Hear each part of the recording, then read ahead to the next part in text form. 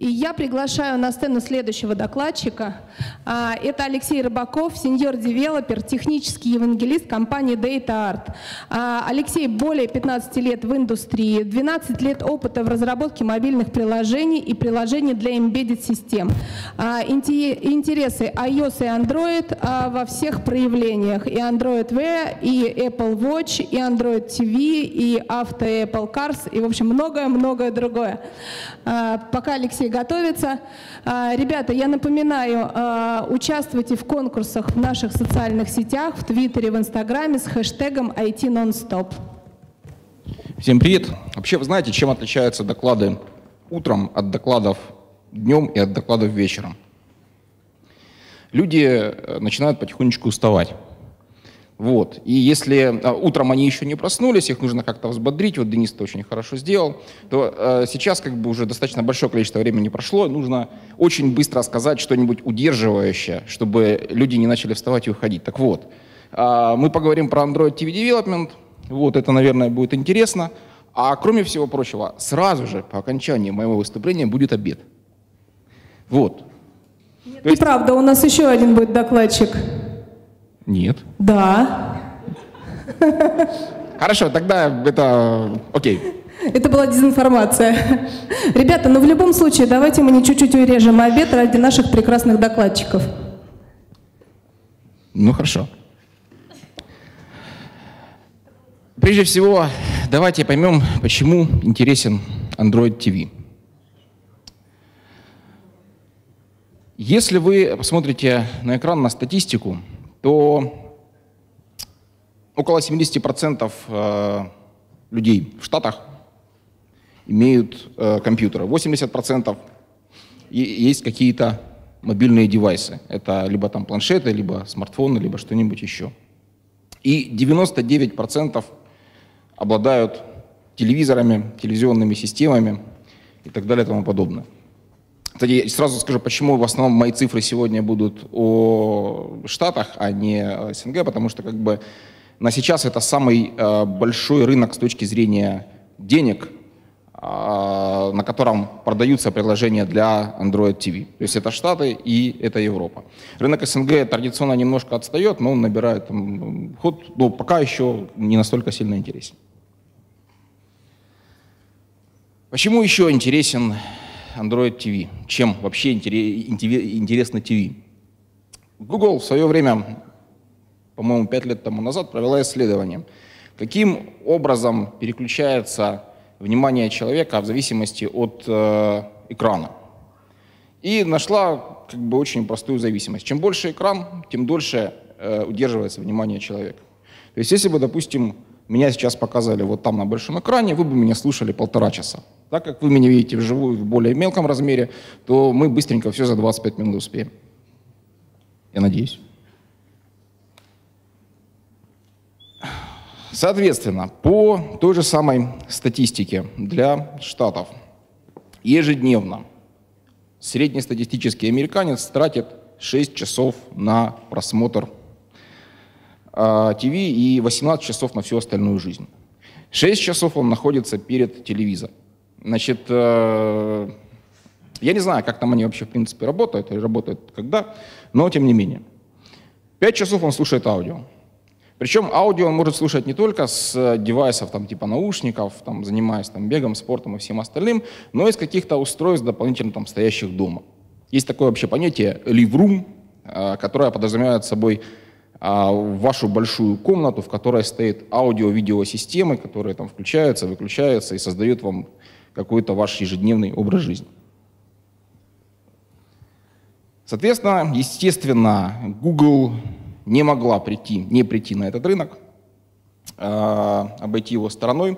На самом деле начали они немножко раньше, э, почти, по-моему, 8 лет тому назад, если не ошибаюсь, была такая инициатива у Google, Google TV.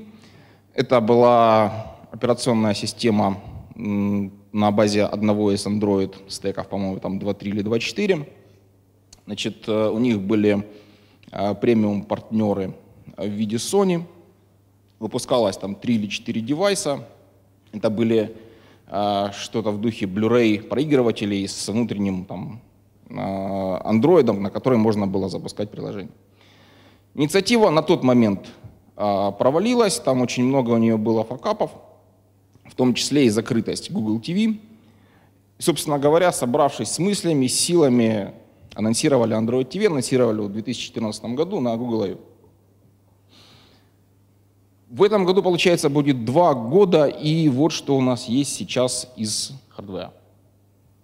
Прежде всего, это флагман Nexus Player, а, девайс от компании Google, который они, как и все свои девайсы Nexus, они выпускают как э, пример хардвера, как это может быть сделано, что и как это может работать. На удивление, э, это интеловский процессор, это x86 архитектура. Почему это важно, я скажу немножко позже.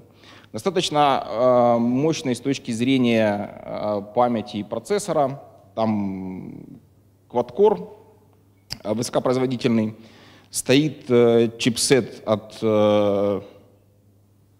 PowerWix, один из последних, который помимо там OpenGL 3.0 ES поддерживает еще нормальный, внятный, необрезанный OpenGL 3, сколько-то там. Правда, он из Android недоступен, но тем не менее. Выходное разрешение, которое этот девайс выдает на телевизор, Full HD. Кроме этого, что сейчас есть на рынке и продается. Я не буду все э, системы, которые сейчас продаются, э, рассказывать, буквально их несколько будет штук, потом я расскажу, почему это делаю.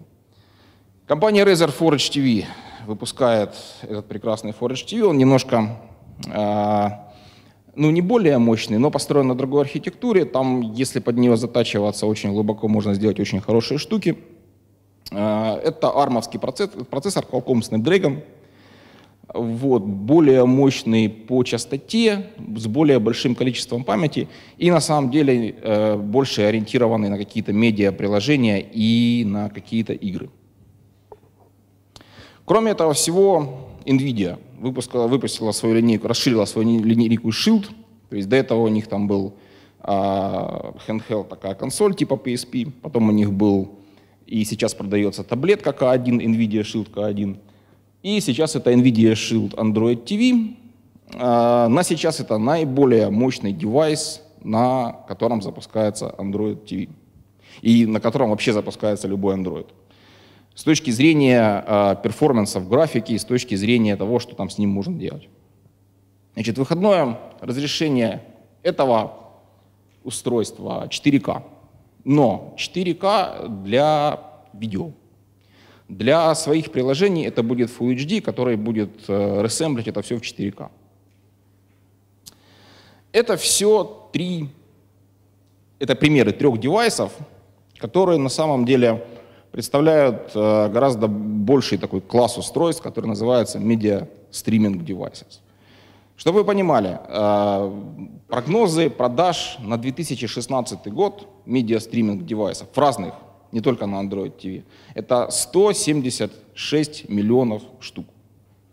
Значит, э, что они позволяют сделать нам? Они позволяют к любому там, ламповому телевизору, практически к любому. А на самом деле э, вот на YouTube был недавно ролик, как э, Nexus Player подключили к обычному старому ламповому красивому телевизору. И там такой теплый ламповый Android тихими зимними холодными вечерами он, наверное, там, выдает гораздо больше, чем всякие разные там 4К панели. Кроме этого, Android TV, как это ни странно, запускается и на телевизорах в том числе. Поддержали эту инициативу сразу же со старта, естественно, Sony по старой памяти, э, выпустив э, свой, свою линейку флагманов Bravia. И, насколько мне известно, все телевизоры Sony сейчас уже будут выходить с Android TV. То есть старых их кастомных там Linux или что там у них стояло, ну Linux стояли, уже, насколько я знаю, на сейчас, по моей имеющейся информации, не будет. Там очень интересная система. С одной стороны стоит очень мощный процессор э, Sony X1. Это их флагмановская разработка 2014-2015 года, которая делает удивительные вещи там, с изображением. Это опять-таки 4К. Но э, для Android там обычный ARM7 Dual-Core, и с ним есть некоторые проблемы. Мы сейчас чуть позже тоже об этом поговорим. Разрешение экранов там от Full HD до 4К. Традиционно на 4К телевизорах идет видео через э, Sony X1 процессор, видео, видео выход, который генерирует там, ваше приложение, ваша приставка, будет идти в Full HD. Philips. А, ребята очень загадочные. Одни они из самых первых сказали, что да, мы будем поддерживать Android TV. Они сказали об этом, анонсировали даже раньше Sony. Они начали выпускать их э, в Штатах еще в начале 2015 года, даже продавать. Выпускать они их начали в 2014, продавать в 2015. А, есть, я не знаю, как э, здесь у вас, я приехал из Украины, а, у нас они продаются во всех магазинах. То есть во всех магазинах, которые занимаются аудио-видеотехникой, есть специальный там стенд Android TV, на котором представлены Philips, их даже больше, чем Sony. То есть у них очень агрессивная идет политика с точки зрения продаж вот на вот этих вот новых рынках, там, э, молодых, скажем так. Но при этом, при этом я очень давно у них состою в э, программе девелоперов, еще в те времена, когда у них была там старая операционная система, я так и не смог найти технические характеристики значит, этих Philipsов, то есть какой там конкретно стоит процессор, сколько там стоит памяти, как оно вообще работает. То есть как она вообще работает, я знаю, потому что у меня есть там хорошие друзья-коллеги, которые там некоторые наши разработки все просто дома пытаются запускать на Philipsах и говорят, Леша, ну, не работает. Я говорю, окей, хорошо, будем переписывать. Как-то таким вот образом. А, к сожалению, почему-то вот эта информация не совсем доступна. Вот, у них, кстати, если вы видите, очень Pointer, я люблю миграться. Если видите, э, у них очень прикольный пульт. На обратной стороне это клавиатура, на самом деле, которая позволяет очень удобно вводить э, всякие разные штуки, типа своих паролей, поисков и, все, и так далее и тому подобное. С таким разнообразием хардвера на самом деле есть э, две большие проблемы. Первая проблема – это проблема, как определить, где мы запускаемся – и определить, какая конкретно модель у нас телевизора. То есть данный пример кода, он просто показывает, что наше приложение запустилось на Android TV, а не на обычном Android планшете. А, ну окей, хорошо, мы запустились на Android TV операционной системе, но какое железо, как узнать? Тут очень много разных хитростей, они здесь у меня не приведены. А если кому-то будет интересно, я их потом солью лично на мыло. Но там есть способы отличать это там Nexus или это а, Sony TV. Причем они, эти способы, они нестандартны на сейчас пока. А, это первое. Второе. Как я уже сказал, разные архитектуры с точки зрения процессоров. x86, ARM, а, разные, разная производительность. Значит, э, тут нужно четко помнить, что если мы, допустим, пишем наш какой-то там Android-код э, совместно с Native, то две библиотеки — это все отлаживать. Память работает на x86 и на ARM процессорах немножко по-разному. Всякие разные нюансы. Чего у нас нет на Android TV? Ну, как бы тачскрин и тачскрин эмулятор, это, в общем-то, в принципе, понятно. Невозможно позвонить и нет камеры. Вот из-за того, что нет камеры, э, на Sony телевизорах больше никогда не будет скайпа. Вот.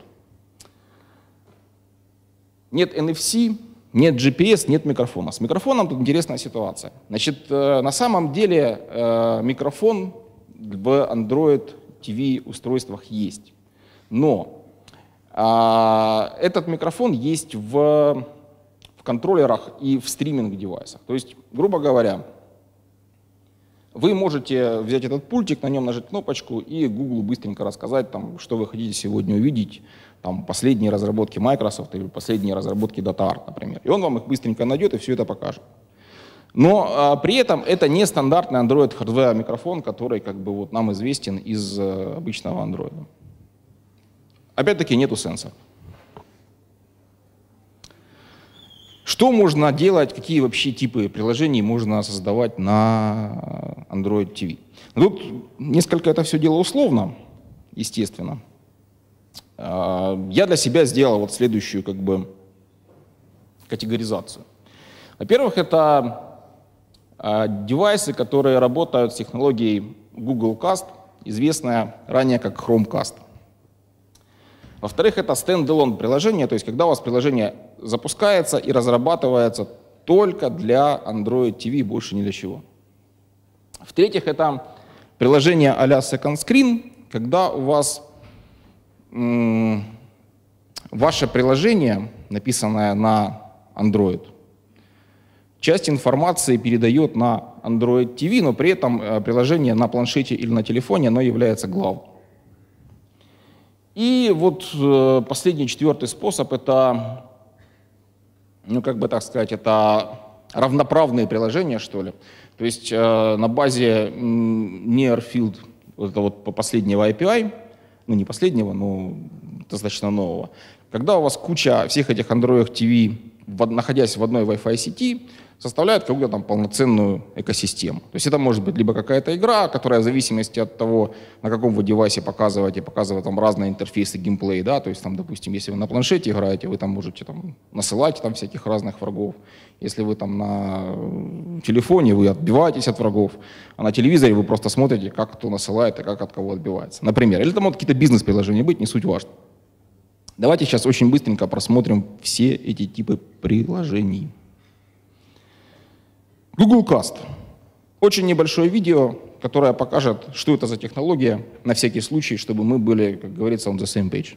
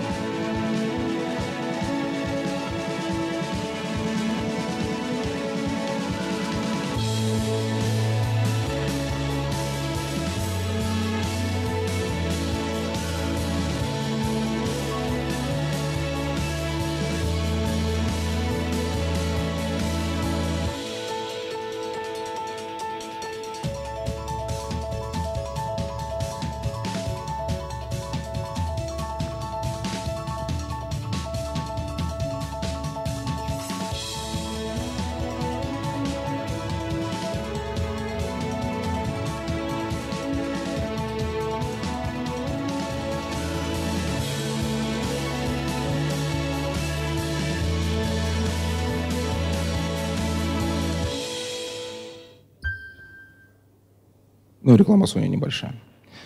А скажите, пожалуйста, кто из вас пользовался Google Cast на Android или на iOS? Ну, даже не скажите, наверное, поднимите руки. А, хорошо. Значит, э, как вы видели на видео, для того, чтобы у вас случился Magic, да, нужно нажать аккуратненько кнопочку Google Cast на вашем Android либо iOS девайсе. Значит, по Google статистике за 2015 год. Ее нажали полтора миллиарда раз. Это статистика, вот, э, грубо говоря, октября месяца. То есть сейчас, я думаю, ее там, плюс еще сколько-то там. Значит, смысл в том, что э, старая эта технология по-старому называлась Chromecast, сейчас называется Google Cast. Это еще и технология, которая лицензируется. То есть не обязательно Android, какие-то там TV-девайсы. Это могут быть аудио-девайсы, это могут быть там, я не знаю, в машинах какие-то устройства, на которые вы можете кастить там, в стиральных машинках, например, свое там э, аудио или видео. А в 2015 году было продано 27 миллионов э, Google Cast устройств, и это не включая Android TV и приставки, которые вот продались. Это еще каких-то 27 миллионов. Вот этот вот мелкий свисток, э, Chromecast, который продается, там, по-моему, уже 3 или 4 года, он там стоит 25 долларов. Значит, э, он э, занимает уже второй, нет, уже третий год подряд, он э, самый продав, самое продаваемое устройство в своем классе. Чем это хорошо для Android-программистов? А есть у нас Android-программисты? А iOS-программисты? Хорошо. Значит, чем это хорошо для Android-программистов? Тем, что все, во-первых, Android TV э, поддерживает эту технологию из коробки. Любые а, Android TV устройства, там телевизоры это или медиа-стриминг какие-то девайсы, они 100% без изменений будут работать с вашими старыми приложениями, написанными для Google Cast, для Google Cast или для Chromecast, или для Audiocast. Вот. Это раз. А, второе. А, для iOS разработчиков абсолютно та, та же самая ситуация. Значит, общая, общий принцип как бы следующий. Вы получаете в этом SDK в своем контекст устройства, в который рендерите, рендерите картинку. И дальше она магическим образом попадает на ваш большой экран. Для iOS-девелоперов это чем хорошо? Э, хорошо тем, что Android TV девайсов очень много. Их гораздо больше, чем там Apple TV. Но мы к этому еще немножко потом позже подойдем. И, соответственно, они могут использовать все возможности хардвера э, iOS, Apple девайсов для создания приложений, которые будут потом показываться на Google Cast. То есть э, все SDK iOS, там, все Game API SDK, там, UDK, например, все это доступно для программирования, с одной стороны, с другой стороны, оно очень хорошо показывается на больших экранах. Причем реально оно с каждым годом все лучше и лучше. Там есть, конечно, некоторые проблемы, когда у вас Wi-Fi э, нагружен, но тем не менее э, качество картинки очень и очень хорошее. Хотя сейчас перейдем, перейдем туда. Значит, э, если еще совсем очень кратко, есть два типа приложений. Есть приложения клиентские, есть приложения серверные. Серверные приложения точно так же совместимы с э, Android TV, а, как и, как и раньше для любых остальных систем. Что мы можем делать в стендалон приложениях? Собственно говоря, там масса вариантов, и традиционно все очень просто. Значит, э, Google создала Support Library, используя которую мы можем получать, мы можем очень быстро переводить свои приложения, насколько э, это возможно с точки зрения UI Flow и User Experience на Android TV. Во всяком случае, зареюзать свой код мы можем, да. Мы можем делать приложения, которые будут универсальными. То есть одно и то же приложение будет появляться и там, и там, и работать и там, и там. Есть несколько примеров э, интерфейсов. Браус-фрагмент. Значит, тут очень простой код, который показывает нам, что, собственно говоря, Android TV — это обычный классический стандартный Android. Вот сейчас там последняя версия N, которая вышла. До этого там версия M. Здесь нет никакого мэджика. Вам по-хорошему не нужно ничего нового изучать, как Android-программист. Detail фрагмент, э, собственно говоря, мой любимый слайд. А, вот это вот э, робот, который разрабатывают наши клиенты, клиенты DataArt. А, очень классная штука, потом, если будет интересно, расскажу. А, еще один пример, как это может выглядеть, Detail фрагмент для Android TV. Guide step фрагмент. И как бы с фрагментами закончим не очень интересно. Что нужно помнить при разработке стендалон Android TV приложений? Во-первых, тот факт, что пользователь сидит на расстоянии э, 3 метров. Это так называемый 10-foot UI.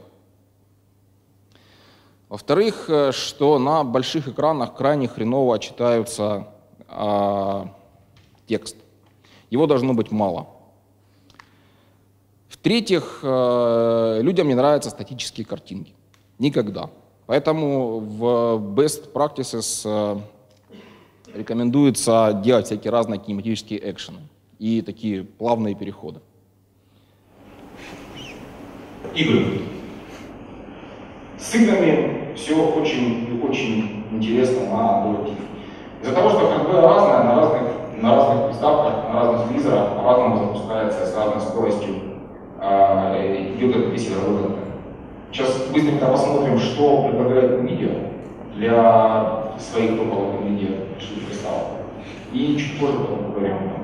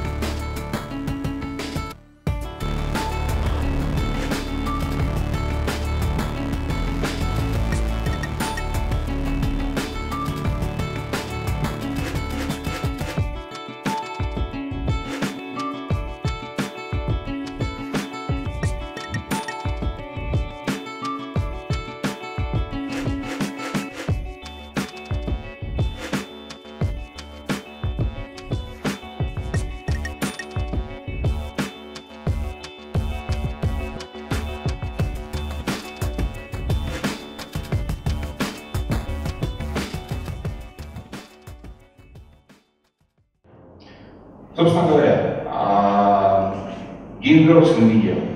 Очень мощный пакет, очень э, там большой набор инструментов для он ставится как на маке.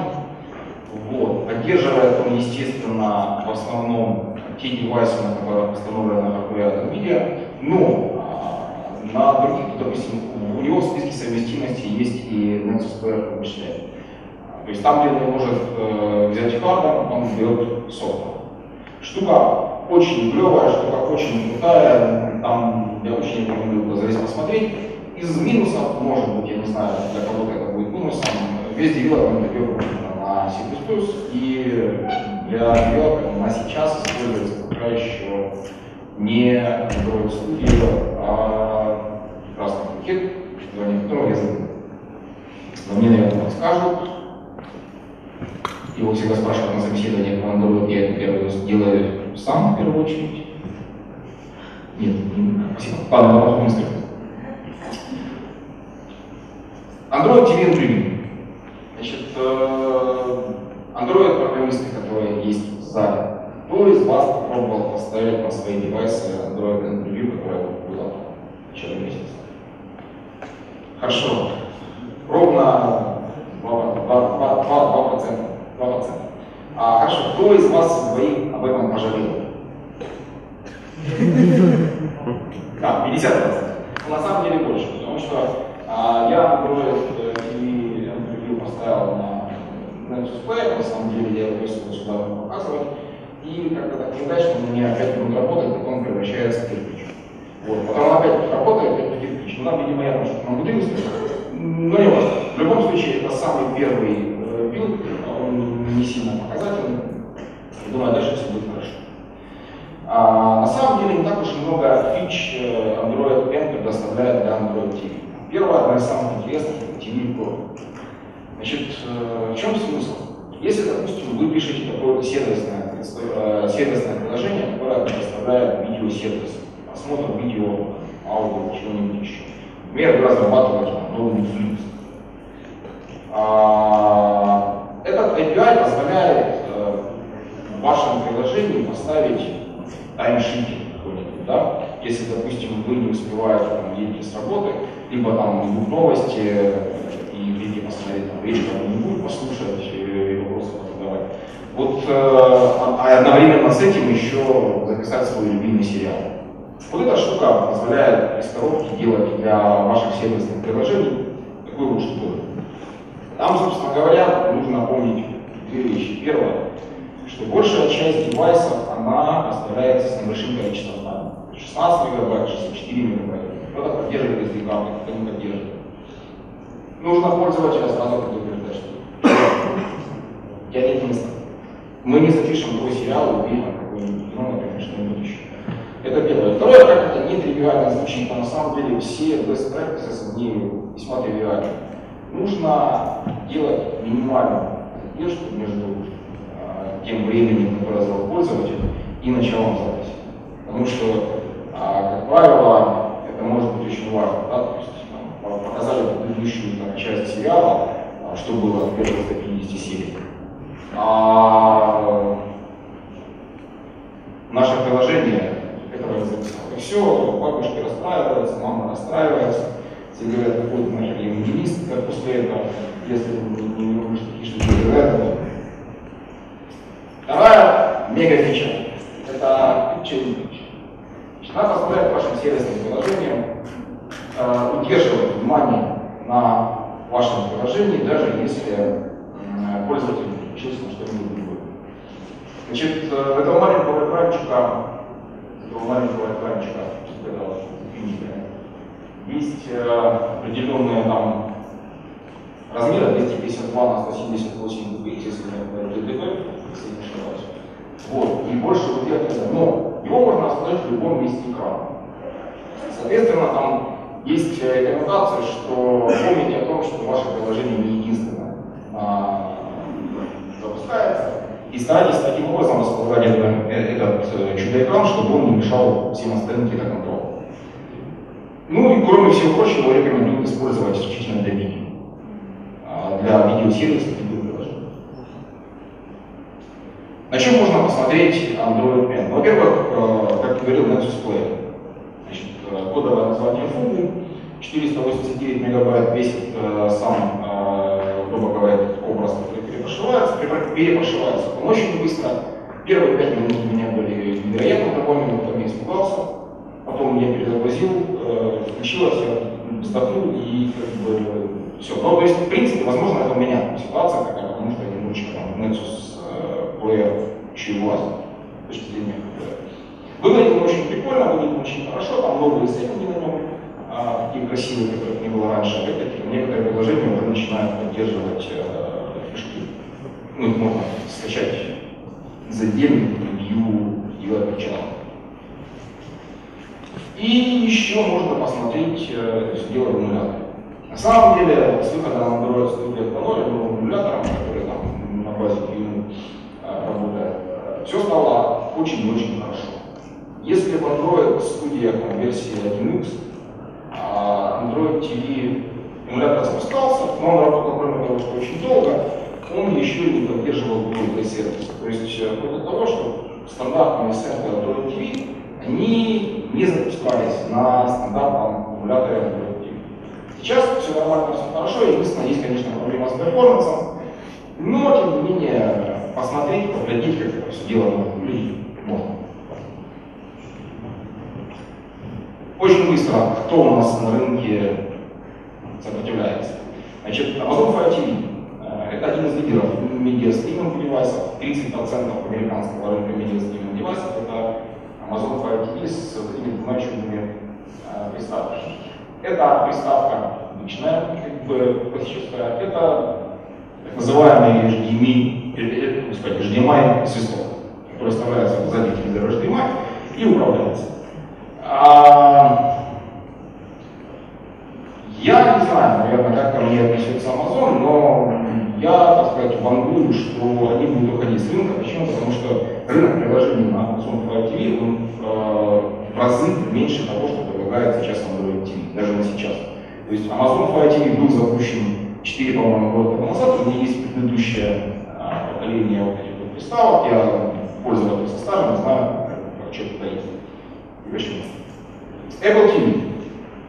Как это неудивительно, точнее говоря, не странно, а удивительно, но они стартанули очень-очень плохо.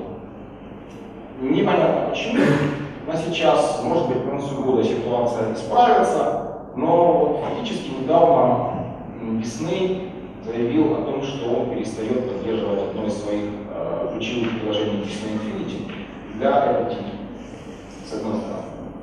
А, с другой стороны, сейчас там пришло немножко больше игр, начали немножко лучше покупать, но тем не менее, как бы все равно э, не то, как говорится. С третьей стороны, на Android TV э, Private есть отдельный так называемый хаб, называется Default Hub, который можно зайти там в сильный Default, совместимый с Android TV. Для этого TV немножко меньше как бы компания Милофона одна из лидеров, соответственно, есть э, чем задуматься. Простите.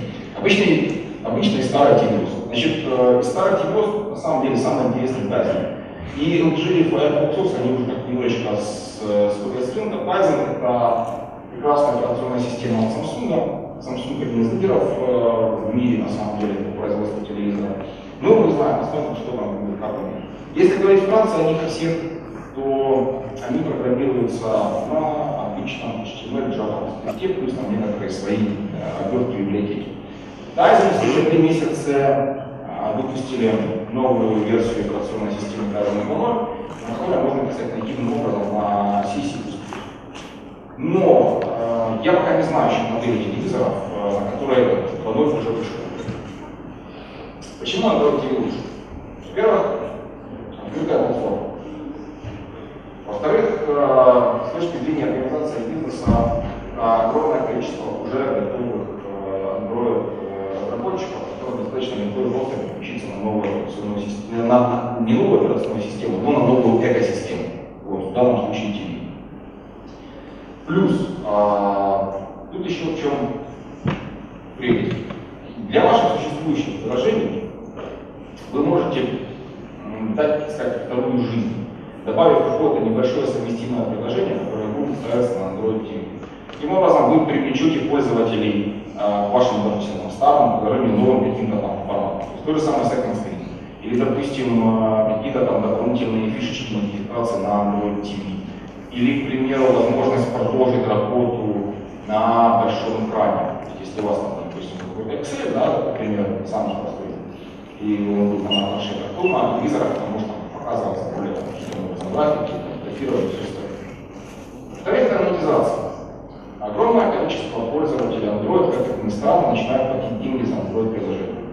А, почему? Потому что, во-первых, их много пользователей, во-вторых, система стала очень-очень простая. Подключили свой, свой аккаунт, дальше ну, все начинает хорошо работать. Android TV приложения это точно такие же приложения Android. Э, они подаются через Google Play Store, соответственно, этот механизм покупки приложений уже пользователю известен, и они уже знают, как покупать много ваших приложений. Почему он плох?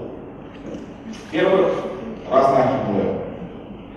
Во-вторых, все-таки developer distribution. К примеру, на, для телевизоров Sony, э, чтобы ваше приложение попало в Sony, значит, есть два варианта. Вариант первый. Вы подписываетесь на программу Sony Developers. Получаете специальную коробку, которой подключаетесь, и через нее уже можете заливать напрямую приложение в ваш Sony телевизор.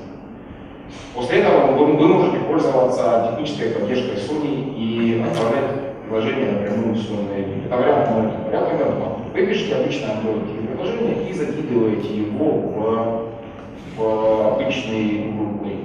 После этого специалисты Sony каким-то там лагом по времени просматривают там, самые лучшие приложения, и если они их устраивают по разным параметрам, они добавляют их в свой просмотр на на телевизор.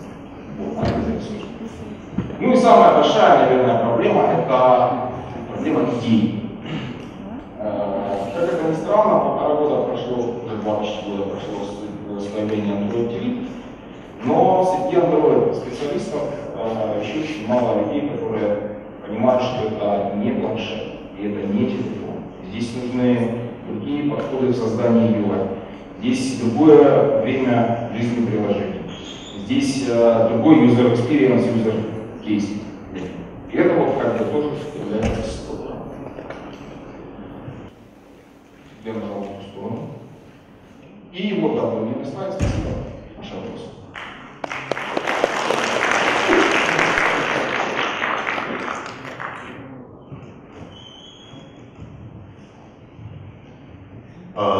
Спасибо за выступление. Такой вопрос. А в чем преимущество Android TV а, над а, мини-ПК, на который Google оставил HDMI и полноценная десктопная винда? В существующем, существующей экосистеме приложений и в том, что, ну, давайте так рассуждать. С точки зрения нас, разработчиков, зачем мы все это делаем, да? Например, мы зарабатываем, мы зарабатываем деньги. То есть это делается. А для того, чтобы заработать больше денег, нам нужно делать больше продаж. Есть два способа. Либо продавать очень дорого, либо продавать очень дешево, но на большое количество пользователей. Mm-hmm. Вот. А в этом Android TV лучше, чем какой-нибудь ваш любой мини-девайс, неважно, на чем он был, там, на Windows, на Linux, на QNX, на чем угодно. Созданная экосистема и созданные продажи и очень быстрое достижение продукта от разработчика до конечного. Ну, я не спорю, для разработчиков, конечно, лучше Android TV, собственно, как заработок. То есть больше пространства. Да, хорошо, я понял. Я, чем лучше для кастомера? Да. Для кастомера лучше тем, что а, чем больше разработчиков, тем больше видов приложений.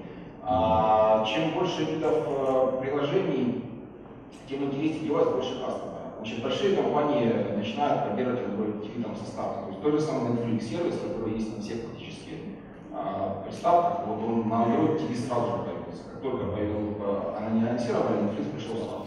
И это как бы тоже интересно вам как кастомеру, потому что Netflix вряд ли придет там на какой-нибудь там мелкий э, там HDMI свисток, пусть он там будет там мега там какой-нибудь э, совместимый совсем, но тем не менее.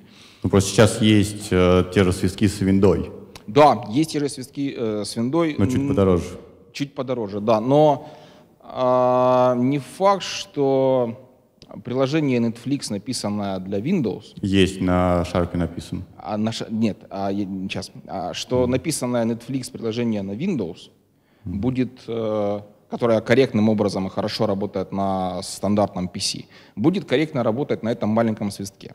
Почему? Во-первых, там разная производительность, там нужно декодировать видео. Во-вторых, там нужно как бы с точки зрения а, Wi-Fi получать все это дело на, на сам девайс. То есть нужно там все правильно спроектировать.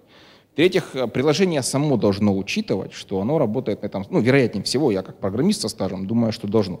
Поэтому вот здесь может быть, может быть э, Android TV лучше, чем любые другие свистки. Спасибо. Да, Алексей. Константин. А, такой вопрос.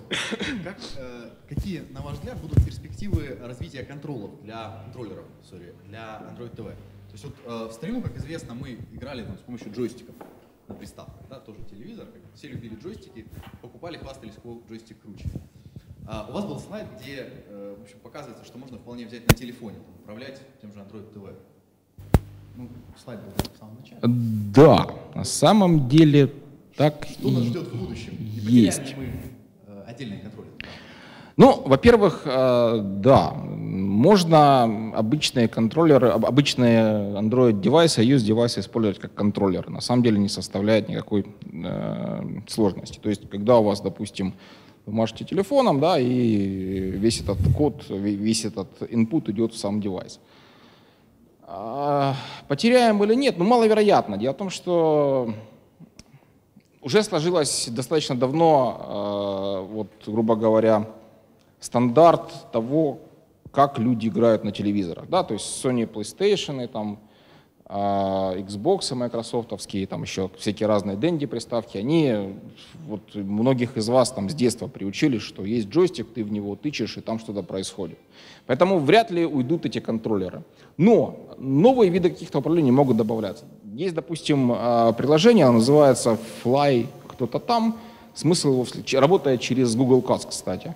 А смысл ее в следующем, то есть э, вы берете, ставите телефон э, перед собой, значит, камера, и он это все касит еще на большой видеоэкран. Там летит какая-то свинья, и, значит, чтобы ее поднять выше, нужно вот так вот махать руками, камера детектирует эти все движения, как бы, да, и она поднимается выше. Это там один режим. Режим номер два есть, э, называется танцевать. Вот я его не пробовал, я только вот руками пробовал, прикольно работает. Станцевать там тоже, там то ли ты берешь его, то ли он детектит по камере. Ну, то есть добавляет какой-то интерактив а, какой-то новый experience в управлении и в игры. Как-то так. Спасибо. А, у меня вот дополнительный вопрос по поводу контролов. А, есть ли какая-то сильная разница при обработке event ов, допустим, вот выбора или нажатия на картинку на экране? Вот, С точки зрения Android? Ну вот возьмем простой кейс. У нас есть э, YouTube-приложение, оно по-любому же есть на Android TV, да. и когда мы делаем это на смартфоне, мы тыкаем э, на ви... Э, тапаем на видео на самом экране. Как э, этот механизм реализован в Android TV? С точки зрения пользователя, это либо, либо джойстик, либо пульт управления.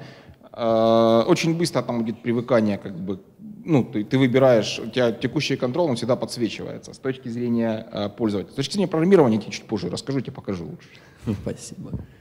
А и второй вопрос какой был? Я забыл, ну ладно. Во-первых, спасибо за доклад. А, вопрос такой. А, я посмотрел на возможности NVIDIA GameWorks, они достаточно обширные. Планируется ли противопоставление Android TV, ну, если не таким топовым приставкам, как Sony PlayStation и Xbox, но хотя бы вот Wii U?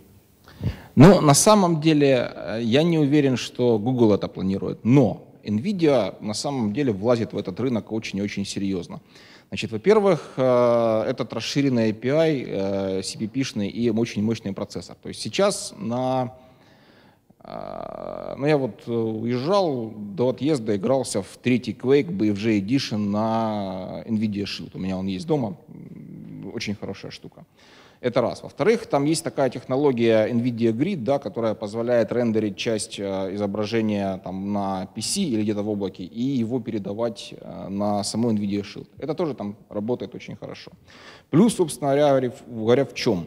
Значит, с одной стороны, э, большое количество разработчиков Android есть. С другой стороны, бесплатный вход. И с третьей стороны, большое количество игр, а, которые существуют на мобильных э, системах iOS, Android, э, и которых как бы качество графики очень-очень хорошее и высокое. А если вы смотрели, вот э, две недели назад был Microsoft Build, то там в один из дней Microsoft анонсировала перевод Xbox консолей в режим Developer Mode, то есть сейчас уже там можно их перевести и на C-Sharp писать, и писать дома, грубо говоря, для своей Xbox, Xbox One. А, писать э, какие-то приложения, запускать и отправлять их в стор уже после этого. А вот это, как мне кажется, я, ну, нужно спросить нашего евангелиста э, из Microsoft, может быть, он знает ответ. Не ответная ли это реакция на то, что вот NVIDIA начала аккуратненько лезть на этот рынок э, консолей и медиа стриминг девайсов? Но вообще, как бы, рынок консолей, он немножко поменяется, мне кажется. А если на Android TV э, поддержка Steam Home Sharing, так он называется, э, стриминг с домашнего компьютера на телевизор. В NVIDIA Shield есть, используя технологию э, вот, э, NVIDIA Grid, если я не ошибаюсь, называется. В обычных Android TV, в, ну, в стоковой Android TV от, от Google такой технологии нет. Но там можно использовать Chromecast. Но это не очень хороший день. Понятно. Спасибо. Пожалуйста. А... Мне маленький вопрос. А вы показали ну, Android Studio 2.0, да, то есть и отладка уже возможна э, непосредственно в эмуляторе. Да. да. А до этого вы как каждый девайс использовали? Ну? А, а до этого я делал все это на девайсе. Ну, то есть, если у вас множество моделей телевизоров, надо проверить, и что, как проверять? Ну, на, на самом деле, если вы собираетесь как бы профессионально входить на рынок Android TV приложений, то вам нужен как, один, минимум, как минимум одно железное устройство. Лучше mm-hmm. всего это, конечно, Nexus Player.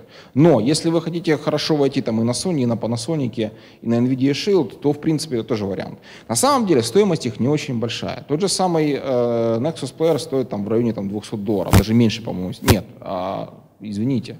А он стоит 65 долларов, он стоил вот осенью. По Кина там э, они сбрасывали цены. А NVIDIA Shield стоит там до 200 долларов сейчас.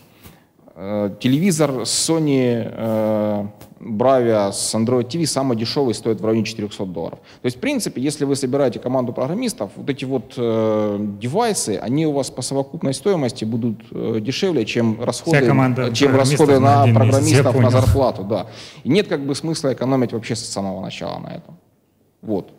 И опять-таки вот, ну, четыре этих вот вида, там, грубо говоря, пара телевизоров и пара этих приставок, да, вот NVIDIA и Nexus. То есть вы покрываете там 90%? Она покроет, да, 90, даже 90, там 99% того, что есть сейчас на рынке из девайсов. Понятно, спасибо. Спасибо большое. Давайте, это был последний вопрос, а то мы немножечко выбиваемся. Ну, давайте, с разрешения спикера. Вот, последний вопрос. Скажите, пожалуйста, при подключении Android TV к телевизору возможно ли голосовое управление с телевизором? А, возможно, голосовое управление с телевизором. Есть поиск гугловый стандартный. А, значит, э, все приставки и все телевизоры, у которых э, установлено Android TV внутрь железа, значит, э, на пультах управления имеют кнопку голосового ввода. Но фактически это тот же самый э, Google Now, который есть в телефонах. И, то есть, если, допустим, э, давай быстренько запусти мне там это мое любимое приложение, то нет. Если да. давай найди мне мое любимое приложение, я его куплю, то да. Вот. Спасибо.